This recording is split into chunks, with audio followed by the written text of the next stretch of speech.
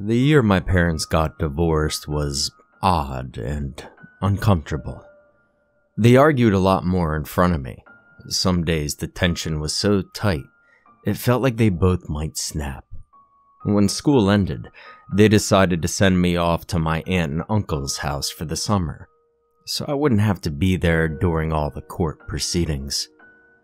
They thought they were protecting me from learning the real reason behind the divorce, but I already knew. During a yelling match between them, Mom broke their unity candle and Dad lost it. He slapped her, hard, a couple times, and she fell over the coffee table. The stress and injury caused her to miscarry the baby they planned to announce a few weeks later. And I heard it all. I had come home early from a friend's house, and I sat on the porch to wait for them to stop yelling. When I heard her fall, I panicked and ran back to my friend's house. I made up a story about how they went out and locked the house so he wouldn't be suspicious. And later that week, I heard mom crying in the middle of the night about losing the baby. Out at Aunt Laura's, I had plenty of room to roam around and explore. She and Uncle Joe owned 200 acres of farmland and 100 acres of forest. Uncle Joe inherited it when his aunt and uncle passed. They never had children, but he worked on the farm and was like a child to them, so they left it to him. They added on the farmhouse, made an additional bedroom and a library because Aunt Laura loved to read, and they planned on having a child someday. For the first week or so, I spent most days reading books from the library and didn't venture too far from the house. I helped out with the farm chores from time to time, but only when I was needed. They usually had an older boy from down the road to do chores for a little money. I finally settled in to being around the farm, so I started to wander off more. There's some days I stayed out from just after breakfast until dinner was ready. The pastures were easy to walk around, Sometimes I found the remains of old fences and animal bones. And one day, I happened upon what I figured was the original farm site that was torn down some 40 or 50 years before. All that remained was a very broken picket fence, a few lilac bushes, now almost trees, and a very beaten scarecrow laying on the ground where the garden used to be. Bored with the wandering the pastures, I took to exploring the woods.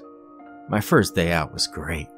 I watched a herd of deer walk through the woods, just nibbling here and there. I also found a large creek with fish swimming in it, and even saw an owl catch a mouse. On my way home, I nearly stepped in an old bear trap. That kind of freaked me out a bit. I used the heavy stick to push the trigger, and it kind of closed. It was too rusted to fully snap shut. I carried it back, and Uncle Joe told me to keep an eye out for them and bring any home that I find. He would take them to the scrapyard and turn them in for a little cash. The forest was a lot more fun to explore. I saw all kinds of critters rabbits, skunks, opossums, raccoons, a variety of pretty birds, and I would sometimes come across wild growing vegetables and fruits. I was casually walking deeper into the forest when I noticed that the trees seemed smaller, younger than all the others. I walked further towards the middle of the new growth and eventually found a small cinder block ledge. Walking around to the other side, I saw that I had stairs that led down into the ground and a door was visible at the bottom. Feeling uncomfortable, I decided to head home early, not wanting to disturb someone living out there. I asked Joe about it. He said it was abandoned a long time ago, before his aunt and uncle bought that section of the property. The man who owned it was a very paranoid person. He dug his own bomb shelter, fearing some type of attack and didn't trust construction companies to build it properly. His house was the one that was torn down out in the pasture. The forest was off to the south from the home. And thinking more about it, I realized that I was south of the old homestead I came across. Joe's aunt and uncle tore the house down since it was in disrepair, anyhow, and he stumbled upon the bomb shelter when he worked on the farm. Feeling less disturbed about the shelter, I asked if it was okay to take a look around down there. Joe okayed it, saying that the structure was very well built, and after dinner he helped me find several lanterns to help light the place up. He joked that I probably shouldn't eat any of the food, but if I find anything interesting, that I should bring it back. Aunt Laura said to definitely bring books back if I found any. The next morning, I was really excited about exploring the shelter. I scarfed down my breakfast, I grabbed my lunch Laura packed for me, and headed out with the backpack full of lanterns. I found the site quickly enough. I took a deep breath to steady my nerves, and then I went down the steps and pushed against the door. It took a little might, but I eventually shoved it open. I stood there for a minute, opening and closing the doors to loosen the hinges a bit, then lit a lantern and hung it just inside the entrance. From there, I could see a short hall that opened into a larger room, but the light wasn't enough to see past the doorway. I lit another lantern and moved forward into the large room. It must have been 10 feet by 15 feet at least. A large table sat against one wall, Shelves took up two others, and the last wall had another doorway. I ended up hanging two lanterns just to light the room decently, and started to look around more. On the shelves, there were dozens of cans of food, as well as boxes of powdered food and emergency kits. I ran across the box with three gas masks tucked in it. Decided they were neat enough to take back. I unloaded the remaining lanterns on the table, and I put the masks in my bag. On the wall above the table, there was a map of the shelter's layout, which was handy. It looked like there were five rooms in total, three more attached to this room, and one set off down a hallway. The farthest room was labeled lavatory, so it made more sense for such a design. At the end of the other shelves, I found a few books. They appeared to be nuclear preparedness guides and old first aid instruction manuals. I mean, Laura would love these, so I packed them away.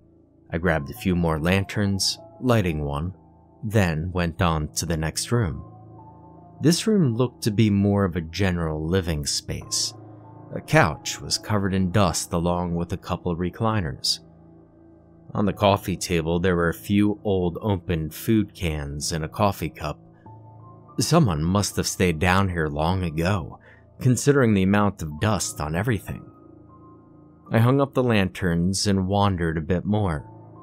I found more books, some light novels, and a couple of encyclopedias. In a cabinet, there was a small chemistry set, an abacus, and a few educational books. I guess this guy was set to continue his kid's education if Doomsday came around.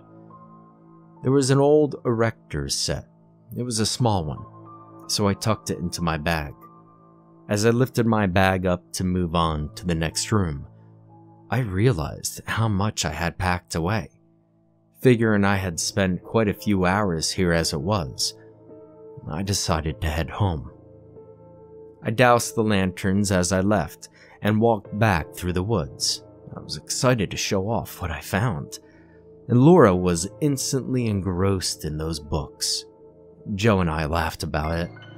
We examined the gas masks further, and he told me more about them.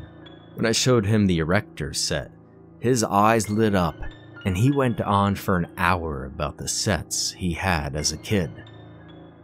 As we ate dinner, we continued to discuss the bunker a bit, and Joe remembered that he had bought some electric lanterns, extra lamp oil, and extra wicks so I wouldn't be left in the dark if I lost track of time. And the next day, I ventured back out to the shelter and refilled the lanterns I used before relighting them. I moved on past the living area into what appeared to be the kitchen.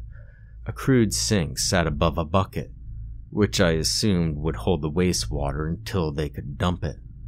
Several boxes of camp stove fuel sat untouched under a metal table. Certainly not a gourmet kitchen. There was a small ice box that took up one corner. It was non electric. I peeked inside to see a pool of stagnant, awful smelling water, and I quickly closed the lid. I noticed two doorways to choose from. Glancing into one, I saw it was a hall, so that must go back to the bathroom. Not really interested in the shelter's pooping hole, I moved on into what ended up being the bedroom portion of the shelter. Two beds took up one wall, a double bed for the parents, and a single bed for their kid. The dresser on the parents' side was empty, aside from a change of sheets in the bottom drawer. The kids' dresser appeared to be the same, but as I closed the small top drawer, it sounded strange. I reopened it, and I looked a little more carefully inside and realized it wasn't as deep as it should be. I removed the false bottom and found what looked to be a cheap leather bound diary, a rosary, and a small Bible. I put the rosary and Bible in my bag, but the diary held my attention more. I sat on the bed and flipped through the pages quickly. It was a bit dusty, yellowed, and some pages were ripped. The leather was worn and scratched with a few holes here and there. Now, intrigued, I turned back to the beginning of the book and started to read it. 17th of May, 1965. Mom and Dad are fighting again. She hates his paranoia, keeps calling him a crackpot, and he's threatening to leave her to the commies. Again. I wish they would just divorce, but they never even consider it. Johnny's parents divorced and they're doing just fine. His dad is even talking about remarrying. I finally got dad to show me how to shoot the 22.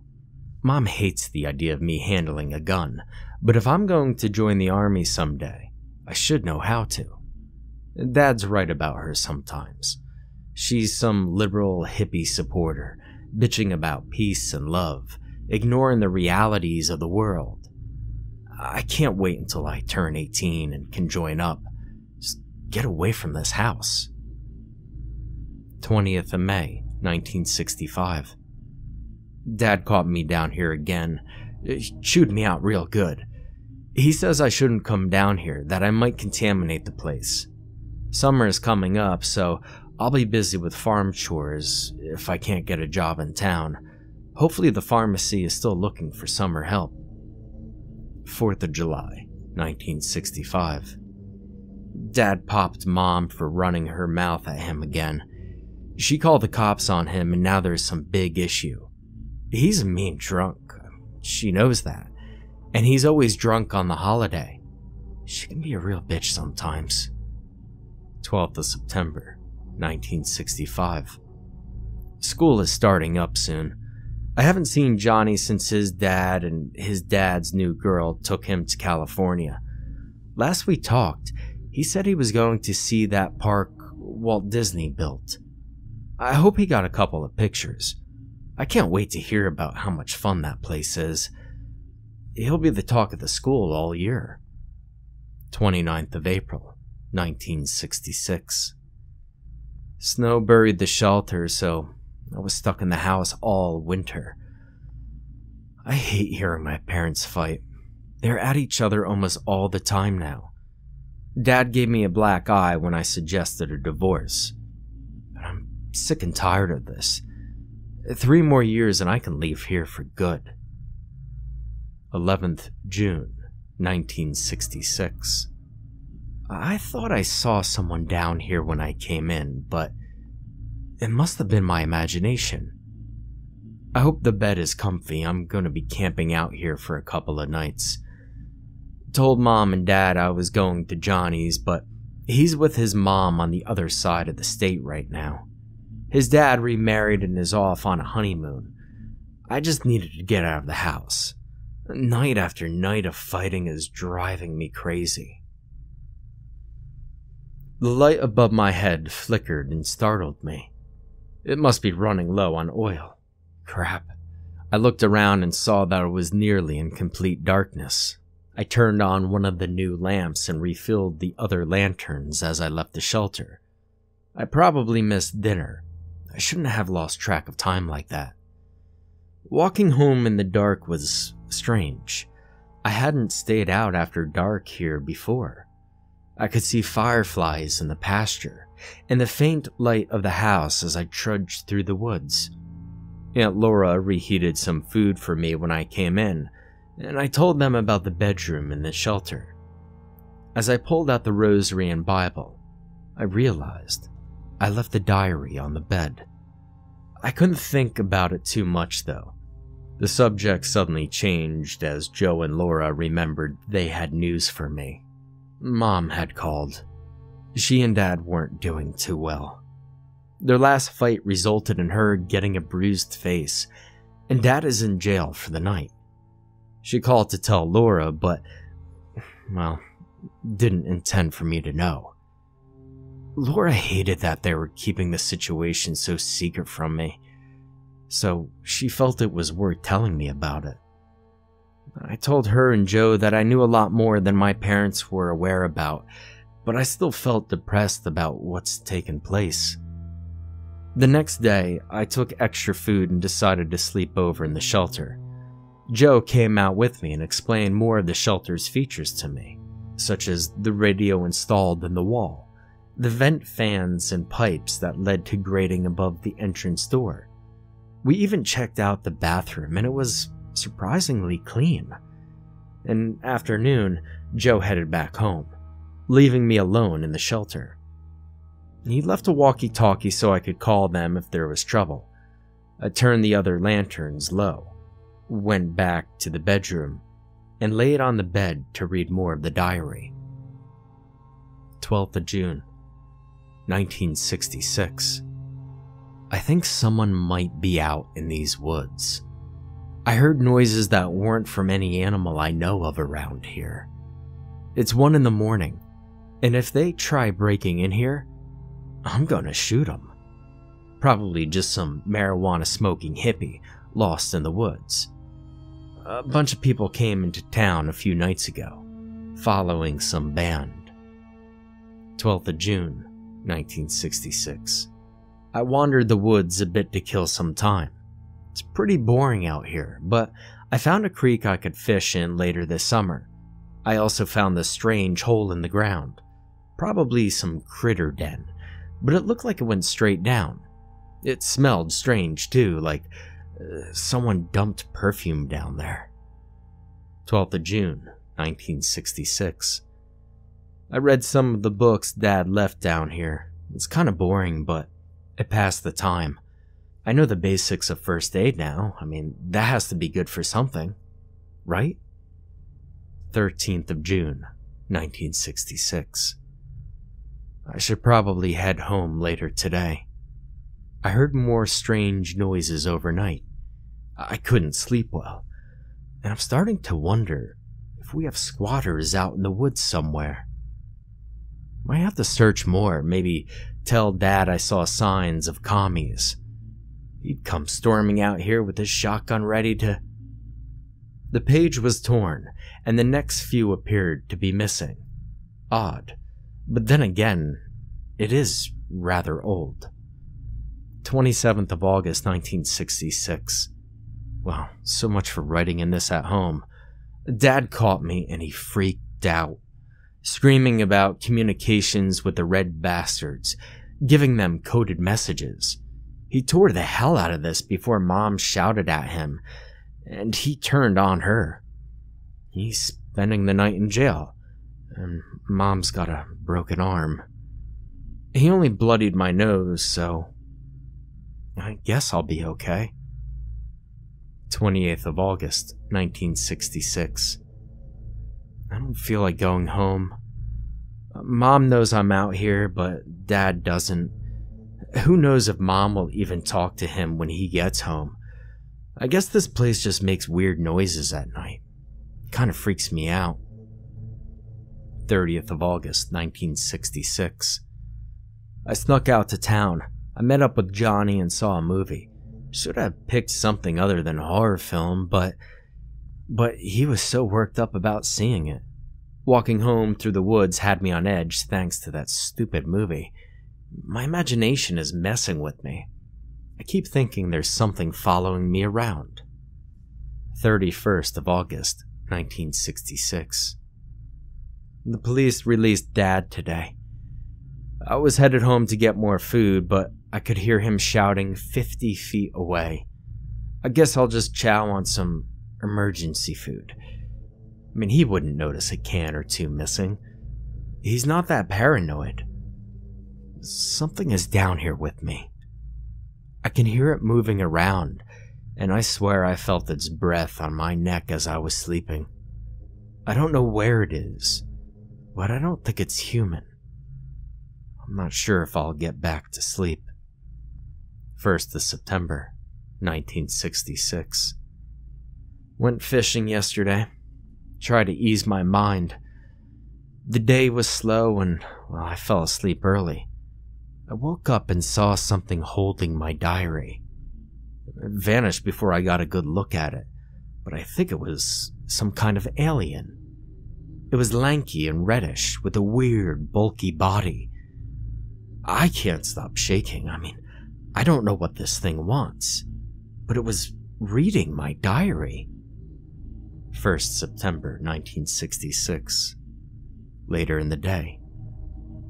God, please forgive me. Please forgive my family. I don't know what I did to deserve this. The 2nd of September 1966. The police are idiots. All of them. They're calling it a murder suicide, but that's not what happened. That thing. That thing did this. It killed them. That has to be it. Dad has a temper, but he wouldn't kill Mom. And he certainly wouldn't kill himself. He wouldn't damn himself to hell. He just wouldn't. God, please, help. 3rd of September, 1966. I tried telling the police. I tried to warn them about that thing, but they wouldn't listen. And I saw it again last night. It came back and sat on me to wake me up. I stared up at that, that thing, and all I saw was this mouth splitting its round head. There's so many sharp teeth, so many in that smile it gave me.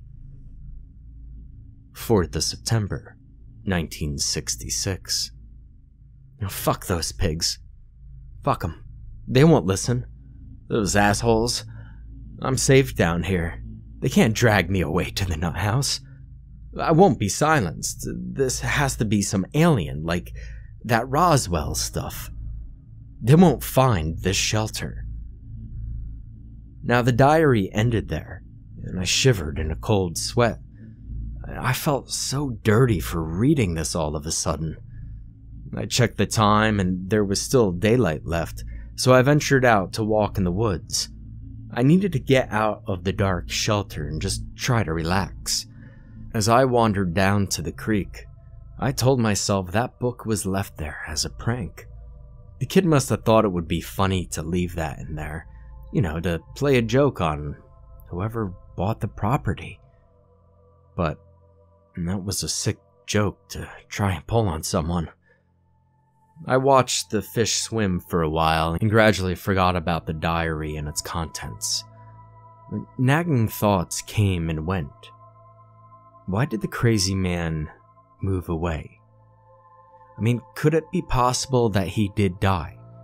I told myself to ask Laura and Joe when I got home, and I put it out of my mind. As dusk came, I had almost entirely put that story from the diary from my mind. I was feeling hungry. I walked back to the shelter, turned up the lanterns, and opened up some of the food I packed. After I ate, I felt quite tired. so I went to bed. I tossed and turned all night. The bed wasn't that comfortable, and I had strange dreams brought on by that stupid diary. Red monsters filled my dreams, and I awoke several times, sweaty and out of breath. The next day, I got home and showered, then decided to go into town with Joe as he went to do some shopping. He usually spent all day in town, catching up with people, so I figured I could use the time to investigate what really happened at the library. I entered the small brick building, and a librarian directed me to the town news archives. I thanked her, then started to sort through the tomes of newspaper scans. I quickly found the 1966 papers and skimmed through to the September papers. I glanced at the front page and my eyes widened in horror.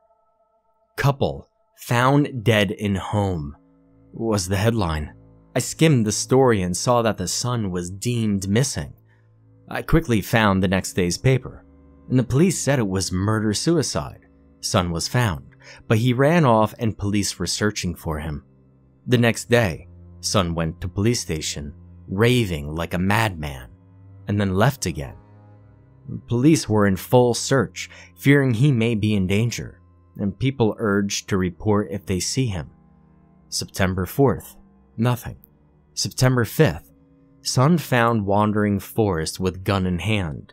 Police apprehended him safely, hospitalized him due to dehydration. I read more and more through two months of papers. The police determined the husband killed his wife, then killed himself and well, they closed the case. The son was deemed mentally unstable and institutionalized. A few reports commented that he was ranting about aliens. The house and land were sold cheaply, and a small story on the last page of a paper commented that the house was torn down.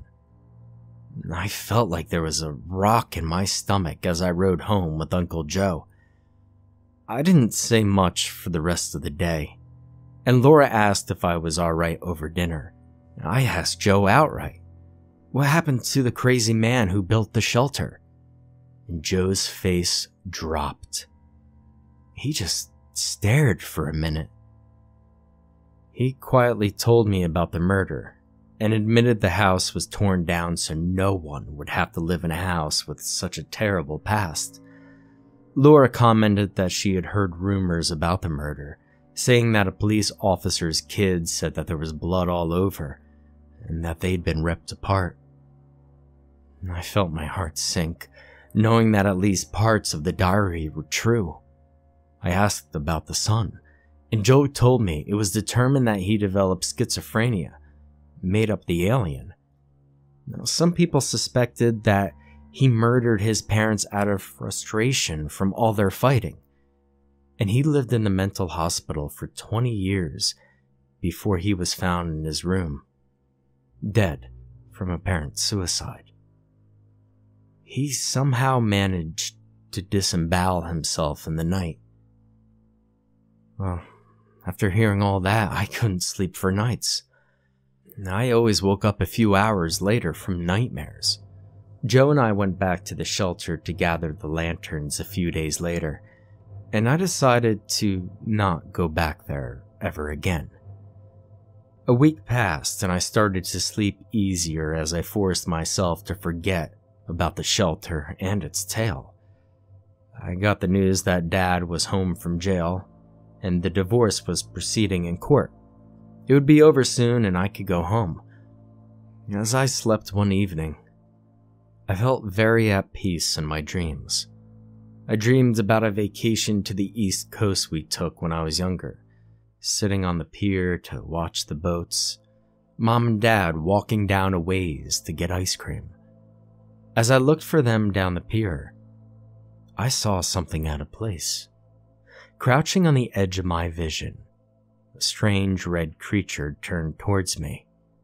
I saw a toothy smile and then my dream went black. I woke in the morning feeling shaken and sick. After going to the bathroom and splashing my face with cool water, I headed to the kitchen for some breakfast. There I saw Joe with his arms around Laura. She was huddling over, crying. And they both looked at me, their eyes bleary and red. Laura started to cry harder. Joe put his hands on my shoulder and heaved a sigh. Kiddo, the police stopped by a few minutes ago. Your mom and dad have died. They say your dad snapped and killed your mom, son. Then he took his own life. I know this is hard to hear, but we're here for you. We'll always be here for you. Three years. It's still strange to look at their headstones. I stood there and felt the hot tears slide down my cheek as I read and reread their names carved in stone. The bouquet of flowers trembled in my hand as I knelt to place it between them. I breathed deeply and wished them well on the other side. And then I stood up and walked away. Memories of the funeral filled my head as I rode back to Aunt Laura's house. Gray clouds hung overhead as the priest said his sermon and committed them to the ground. Distant rumbles of thunder reminded everyone that the cool autumn storm wasn't going to hold off forever. As we got back to the house, the sky was like night, and the moment we hung our coats, heavy raindrops thudded on the roof. I was numb for months. I can't really remember much. I heard the news from Joe and my mind just completely blanked. I didn't speak for days. I barely ate. I had fits of sobbing that lasted hours on end. The nightmares were so vivid but brief. That thing was always there to twist my dreams into horrors. I'd dream of vacations, family dinners, and birthdays, and as the dream came to a moment I cherished, that thing slithered in. It came about, and with a wave of its grubby hand, it turned my vision into a sprawl of blood and screams. I was almost immediately placed in counseling, giving bi weekly therapy sessions, and for months, I cycled through various antidepressants and anti anxiety medications. Laura and Joe got custody of me. I mean, nobody argued against it. Staying on the farm wasn't bad, I guess. The next summer, Joe hired an excavation crew to dig up the shelter. I didn't ask him to. I didn't even care for the place, really. He said it was probably a hazard to have on the property. We didn't need it for anything. And I overheard some of the crew asking Laura if there was a dumping site of some kind out there. As they dug the place up, they said they kept smelling something sweet, like a woman's perfume. It took a month before it was removed and filled in. New trees were planted and had been growing well. It took a while before I started wandering the woods again. Laura talked Joe into getting goats, and they like to jump the fences. I took it upon myself to go and find them. They were usually around the creek playing. As the summer came to a close, I was feeling better, moving on with my life. Mid August is when the night terrors started. Every night, I would toss and turn, crying out in my sleep and fighting off the visions. The demon watched me with his grin, mocking me as I twisted in my sleep. I was hesitant to speak at length about the nightmares to the psychologist. I doubted he could make any of them go away. As the school year got underway, the night terrors waned and I returned to a more normal sleep pattern. Schoolwork took my mind off of my grief. No one in my class spoke of it to me. They all knew, though. They all whispered about it. Halloween drew closer, and I grimaced at the thought of going into town. All the masks and costumes made me think of that demon that followed me at the edge of my thoughts. The whole night made my stomach turn now, and I just wanted it to be over as soon as possible. A couple of friends, the ones who didn't turn tail when I went crazy, kept asking about camping out on Halloween. They knew I now lived nearly surrounded by forest and thought it would be great fun to camp in the spooky woods, as they called it. A week before the day, well, I caved in and got permission to camp out there. Joe and Laura were happy to see me doing something normal, and I guess I should have been happy too. We packed more junk food than we could possibly eat tents, sleeping bags, plenty of lights, and the general camping gear. It was midday when we set out, the day before Halloween. The leaves crunched and the twigs snapped as we trudged our way to the clearing near the creek. I had found the spot on my first visit and would picnic there. There were a couple of apple trees nearby if we got the urge to eat something that wasn't candy or chips. As we set up camp, we heard the roar of a vehicle approach and soon saw Joe ride up on a four wheeler. He bought it in the spring to get around in the woods more easily. He told us to keep an eye out for coyotes and not let the lanterns get too close to the leaves.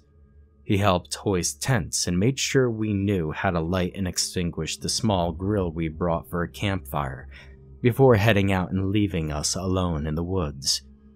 After we settled our sleeping spots, the guys wanted to go exploring in the woods, so I showed them along a few lesser used trails.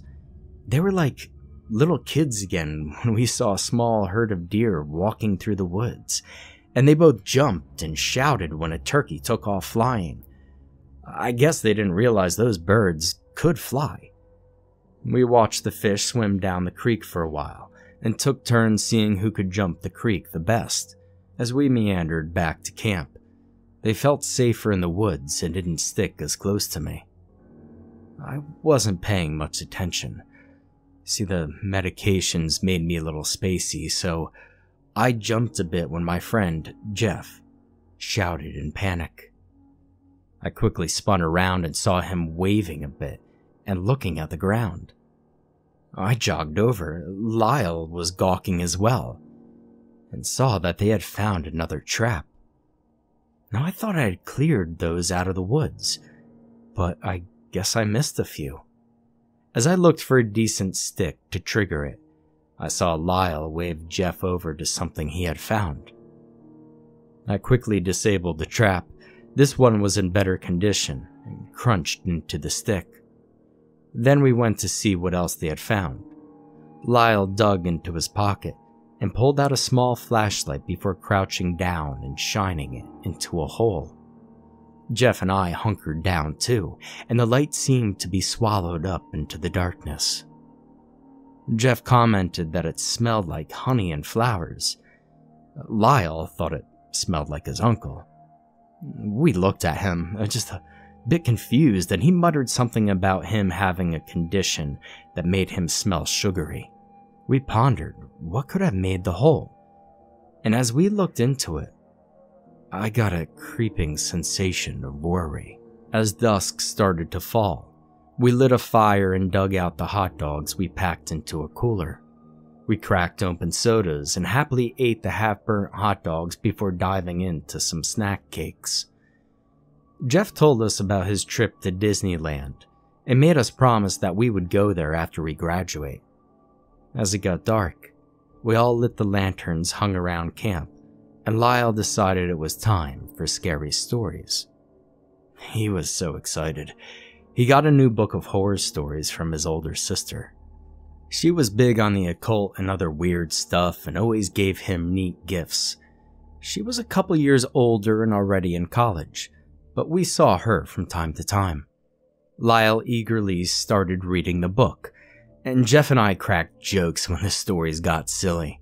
It was nearly midnight by the time he finished the book, and we were sore from laughing and joking. A few of the other lanterns were getting dim, so we put them out before dashing back to camp.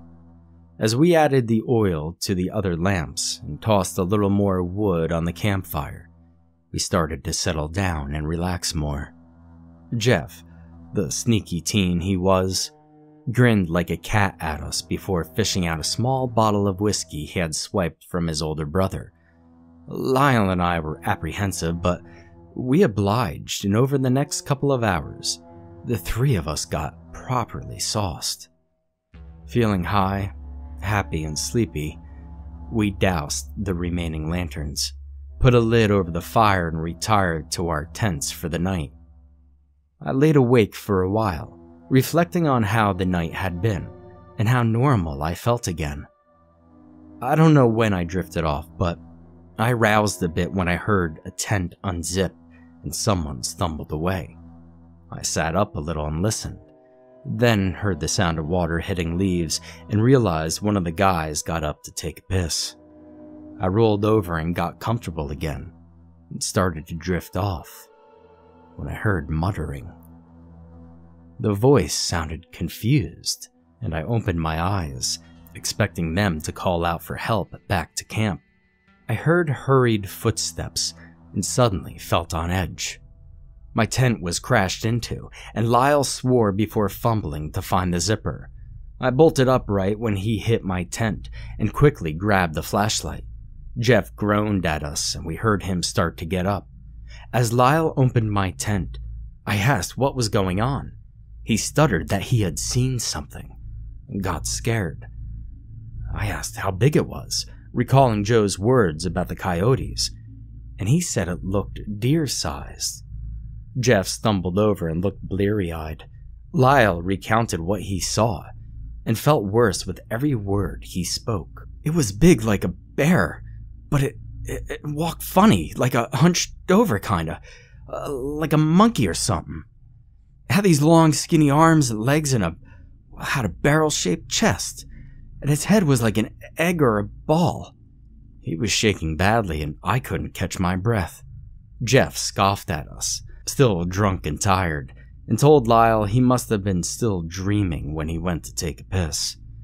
Lyle nodded a bit and seemed to calm down, then agreed with him that it must have been just a dream. Jeff stumbled back to his tent, and I sat with Lyle for a while to make sure he relaxed. After a few minutes, he looked at me wide eyed and admitted he was too afraid to go back to his own tent. I patted his shoulder and let him go into my own tent, and we both slept restlessly until morning. It was almost noon when we all got up, and Jeff was certainly the worst off out of all of us. He spoke only in grunts and groans and barely opened his eyes. Lyle and I, on the other hand, were alert enough to realize something had eaten much of the food overnight. The cooler was tipped and backpacks ripped open, packages scattered all over the place. The campout was effectively over, so we cleaned up, packed our gear, and started the long walk home. Hot showers felt wonderful, and a hot meal settled our bellies. Jeff and Lyle took off that afternoon, and as night wore on, I took to reading another of Laura's fantasy novels in an effort to ignore trick or treaters. The winter passed fairly uneventfully. Spring came and merged into summer, and as fall approached, I paid a visit to my parents' graves and marked the start of the month on night terrors. School went smoothly. Time moved on. I was finally deemed okay enough to not be medicated anymore, and I felt better about life every month. Before I knew it, I was applied to college and celebrating my first day of official adulthood. As I attended college classes, I made a few new friends who teased me relentlessly when they found out I'd never had a girlfriend. Winter semester started, and I decided to take an art class to fill credit requirements. I figured it might be fun. The first day of class, a girl clad in black smiled and waved me over to her. I was confused, naturally, but she was pretty and looked friendly enough, so I introduced myself. Turns out, she's a friend of a friend, and she knew a bit about me.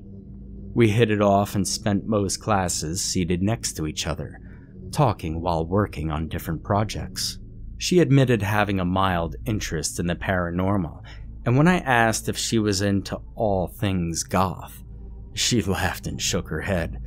She liked to wear dark colors because it fit her complexion, and she showed me a couple of pictures of her in floral, bright clothes. I'll just say, I agree that darker colors suit her much better. Laura and Joe were thrilled to meet her, and I felt more normal than I had in a few years. Spring came and classes came to a close, but we stayed close. A few times a month, we would drive to a larger city and visit the mall or the theater. And one day we came across Lyle, and he excitedly told us we should check out his sister's new shop on Main Street. We wandered down to the center of the city, and after a bit of searching, found the small shop of his sister, Agatha.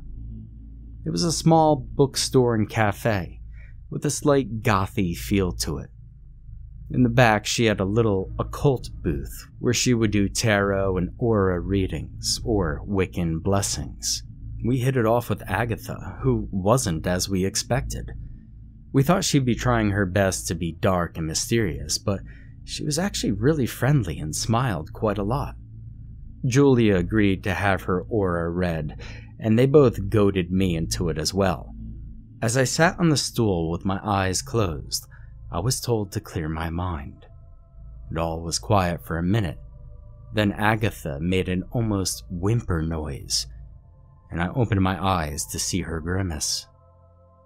She said that my aura was pale blue but flashed red before disappearing. She looked concerned and asked if something was bothering me.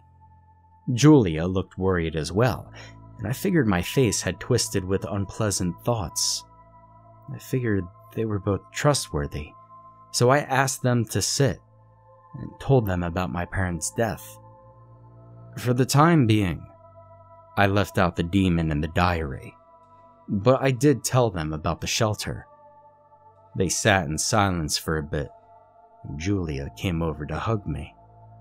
She had tears in her eyes, and I felt a little bad about making her so sad. Agatha closed up shop for the night, made us some coffee. She asked if I ever encountered anything strange, and I thought a while before I commented on the diary I read. She nodded and looked slightly lost in thought, her brow furrowed, as I told her about its contents, then what I learned from the newspapers.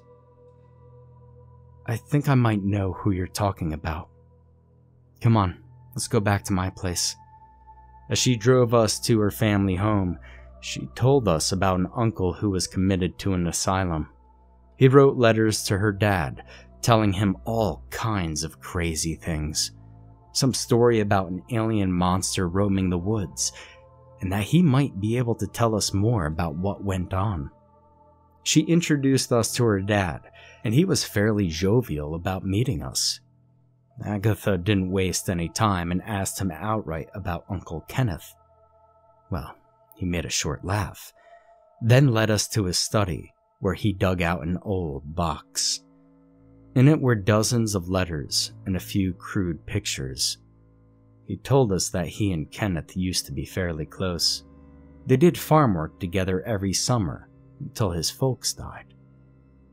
After he was committed, he didn't hear a word from him until a year later when he was allowed to send letters.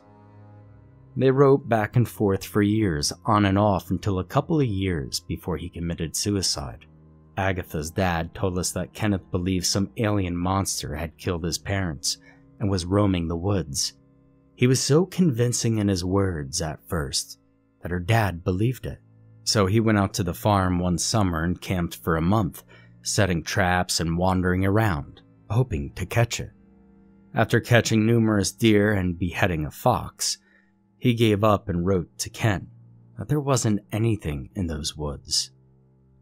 As he spoke, Julia thumbed through the pictures and showed them to me. And I guess I started to get a little more freaked out than I realized. Son, are you okay? Oh, I snapped my head up and looked the man dead in the eyes, and he must have seen the terror in my face. Julia rubbed my shoulders and Agatha looked scared, and her dad simply stated, You saw it, didn't you? I nodded, slowly and deliberately, and I swallowed hard before I spoke. I told them that after I finished reading the diary, I started to have nightmares and visions of that very same creature. Shortly after, my parents died, and now believed that it wasn't a murder suicide as the police had ruled it. I shook as I told them. This was the first time really telling anyone the full story, and I was so raw about it after all these years. And we all stared at Agatha like she was insane when she suggested that we hunt the thing again. She argued that now we had someone connected to it, and that they could probably catch it and destroy it now. Her father waved her off as being immature and ridiculous, and Julia quietly said that we might get killed as well. I admitted that I wanted nothing more to do with that thing, that I wanted to forget about it entirely. We talked in circles about it for hours, arguing what was best to do before we were all too tired to deal with it anymore. As we said our goodbyes, Agatha's dad pressed something into my hand. It was a folded envelope. I pocketed it for the time being, and we drove back out to where my car was parked. I took Julia home and promised I wouldn't hunt the demon before heading home myself. Now I lay in bed and thought about whether it was right to tell them about the creature or not. I pulled the folded envelope out, opened it, and a small metal thing fell on my chest. I sat up and took a better look at it. It was an oblong copper pendant with several unfamiliar symbols scratched into it, tied with a worn leather bracelet. A yellowed letter was in with it, and I unfolded it to see what it said. I'm sending this to you, in the hopes that maybe it'll help. I don't know what it does or how it's connected, but I found it out there. After my folks died, after they were murdered, I went looking for that alien. I came across the hole, the perfume smelling hole I told you about before, and I nearly broke my leg stepping into it. I don't know what came over me, but I reached down in there and I found this thing. Maybe it's connected to that alien monster somehow. I can't say for sure. I do hope it helps you. I hope this thing doesn't come after you as well. Regards, Kenneth. Now, I didn't see Julia for a few days, but we agreed to meet at Agatha's on the weekend.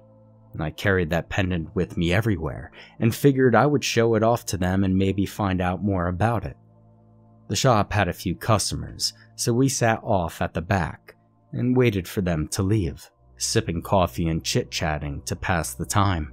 As she closed up for the day, I pulled the pendant out and handed it to Agatha, asking if she'd ever seen it before. She shook her head and looked puzzled by it. Julia took a look at it and seemed to think hard while she turned it over in her hands. Then she lit up with realization and quickly pulled a book from her messenger bag. She said that the symbols were from Native American tribes, probably several tribes, and that she'd seen some similar to it before. As she thumbed through the book, she explained that it was a book of lesser known native ghost stories, tales thought to be only fiction. Stories mixed between tribes of people and those of early settlers. But seeing that pendant reminded her of the last chapter she read. As she flipped to the page, she pointed at an image with several symbols that looked close to the ones on the pendant. It looked like the pendant may have been intended as a way to drive off or trap evil thoughts. They would dig a hole, then dump a mixture of honey and mashed flowers into it before dropping the pendant in and burying it again. They used this as a way to seal the spirits of murderous men, evil children, and scorned souls, read Julia. It seemed that they believed the thoughts of someone with great anger could manifest themselves into some kind of monster. I rubbed the bit of copper between my finger and thumb and thought hard about what she was reading to us. If they buried it, how could the hole reopen? I mean, what caused it to appear time and again? I mean, what was it? A lure to latch on to passing people in the hopes of feeding off their anger? As she flipped past several pages, she suddenly gasped, and Agatha covered her own mouth to keep from yelping. I looked at the book, and I saw on the page a grotesque illustration of the demon that was hunting me all of this time. Its grin pissed me off. That shit eating grin. I sneered at the book as Julia closed it. So, this thing was a manifestation of evil thoughts. I guess that's why it clung to me, but what caused it to exist in the first place? Agatha brewed a large pot of coffee and Julia got online. We pored over the historical records for hours and hours trying to discover a possible origin of this thing. Around 2 in the morning, we finally broke through and found a record of a logging camp that was set up here. The camp didn't last a year before tragedy struck. Half the loggers were killed, and the rest were forced to gang up and kill the man responsible. They reported that he was able to lift the other men clear off the ground, then toss them aside like firewood, and that it took seven swings to fully lob his head off. After being beheaded, they said his face still smiled in a maniacal way, like his cheeks were being pulled to his ears. When they buried him, they recalled that the whole area started to smell like fresh flowers, though none were in bloom. We pieced together that they must have disturbed one of these ritual sites and caused this thing to manifest. As we looked through the years after that, we noticed nothing for a couple of decades. We noticed nothing for a couple of decades. Then, a murder case popped up. A hunter who camped there came home to find his wife and a coworker dead. He was charged with their murder after it was determined he killed them, after catching them having an affair. A decade later, a young boy's schoolmates were killed at a sleepover. The kid was locked into an asylum, later lobotomized believed to be incurably deranged. Twenty years later, a young woman is sent to prison after two of her friends were found disemboweled on a dirt road. Then, the incident with Kenneth. The last case was that of my own parents. I felt sick, just tired, mentally overloaded. Agatha invited us up to her small apartment to sleep. We were too tired to drive home safely.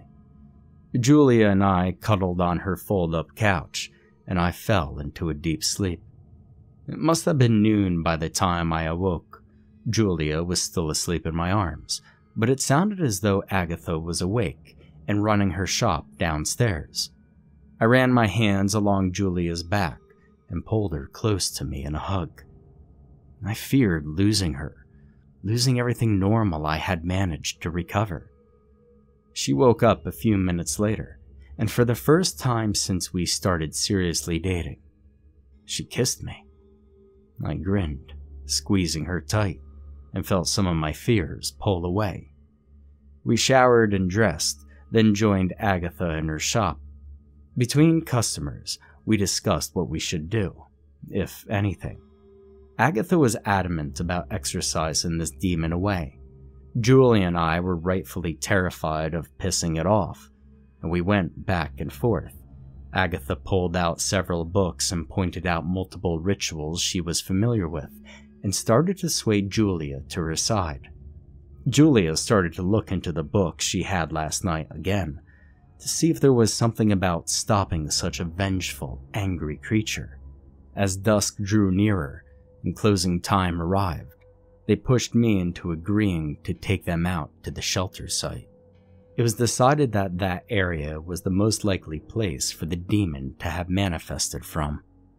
Before we left, Agatha packed a kit of stereotypical items candles, salt, chalk, pendants, incense, and crystals. Julia packed a few books on the rituals they decided would be best to try, and we started our journey into the woods. We could only drive so far to the site and had to abandon the car halfway into the woods. We carried bright lamps and walked the rest of the way there. I felt a looming sense of dread as we closed in on the former shelter. I began to sweat and felt cold. Once on site, we hung as many lanterns as we could, lighting the area brightly. Agatha and Julia began to lay down salt lines and place candles as I fiddled with the pendant, feeling a creeping presence come upon us. Agatha and Julia were on opposite sides of each other, creating a large circle when a sudden gust of sharp wind cut between the trees and extinguished half the lanterns. Julia screamed first, and I started to move toward her. Then Agatha screamed, and I whipped my head around to try to see her. Both girls lay on the ground, motionless, and I felt as though my stomach dropped out of me. I heard a high growl circle me quickly, and the lantern light turned a strange shade of reddish orange. And as I scanned the trees, I froze still when I saw the demon, crouching low and crawling towards me. It stopped as well when I locked my eyes on it. Then it slowly moved forward, stretching its limbs until it was practically goose stepping to me. As it got closer, the sweet flower smell turned sickening and putrid. Its green was as wide as ever, and when it got within a foot of me, it simply stopped. As I stood there, staring at it, the smell turned into something metallic. It smelled like blood. I didn't know what else to do. I hadn't really paid attention to the rituals they talked about. I flat out told it to leave. Its head leaned back and to the side slightly. Then its mouth opened, and it laughed. It laughed at me for telling it to leave. I stood my ground and repeated myself, demanding that it go away and it laughed harder, rocking back and forth slightly. Well, I started to get pissed off for it mocking me. I gritted my teeth and felt like just punching it in its stupid face. Crouched up and sat a bit, balancing on its legs and stretched its arms wide. In a flash of movement, it reached both forward and backward, grabbing the girls, hoisting them up, and dragging them over to us. It held them just under the arms, close to its sides, and chuckled. Delicious. Doesn't it feel good? Doesn't it make you happy? Come on now. You don't want me to leave. Its voice was shockingly smooth but deep, and seemed to come from behind my head instead of from its gaping mouth. It set Agatha down, setting a foot on her, then focused on Julia. It ran a finger up her shirt, splitting it open before discarding it, then moved on to tearing her pants off. I shouted at it to stop. I refused to simply let it undress her, but it merely looked at me while it continued. When Julia was fully naked, it sat her down, stepped on her, then proceeded to do the same to Agatha once both women were naked. It picked them up again, and played with them. It bounced them around as if a child playing with dolls, bobbing them side to side. It gurgled out these high pitched noises, what I assume were its attempt at a mindless girl talk. It turned its head back at me, and its smile seemed to grow larger. That fuck was mocking me again. I curled my fists in anger and tensed my body, thinking to myself, just about tackling this demon and beating it with my bare hands. In a split second, it vanished, and the girls fell to the ground. I stepped forward to try to catch them, but felt burning hot hands on my shoulders, stopping me dead. It was now behind me, breathing down my neck. I felt a slick, wet sensation across the back of my neck and felt the sharp teeth brush lightly against my skin. I shuddered with revolt and threw my elbow back. To my surprise, I hit flesh. Hard, dense flesh as I struck the monster. I spun quickly and saw that it simply stood there, knocked slightly to the side, seemingly stunned. I saw my advantage and I took it. I threw punch after punch and hit it in the face and neck. It growled and gurgled at me before vanishing again. I stood panting, my fists sore and my adrenaline pumping. And then I heard it laugh again. Only the sound came from all around me. I turned slowly to try to spot it, then felt the earth give way beneath my feet. I was pulled down past soft, wet dirt into a damp, hot hole that smelled putrid. Sweat and bloody all at once. I nearly vomited, and I felt that bastard's hand groping all over. It shook my shoulders, tugged my ankles, slapped my head, patted my belly, and even grabbed at my crotch. I grew even more pissed off, and this thing simply kept toying with me, taunting me and teasing me and I finally shouted, Enough! And it stopped. Silence filled the small chamber I was in, and I began to lose my sense of time. Eventually, I heard it breathing again slow, calm breathing. You're hateful, but you have no one to hate. Why don't you find someone to hate? It could be anyone, anyone at all.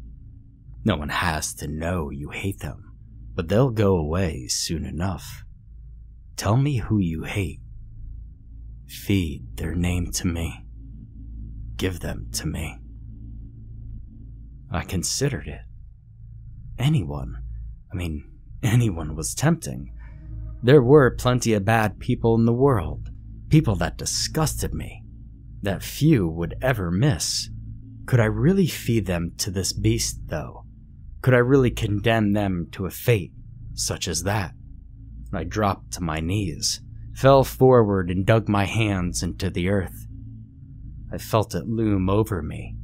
It whispered its almost chant, like begging for more hate, for more anger. And it pressed its body up against me, wrapped itself around me, and begged in my ears. It wasn't in control, though. I was.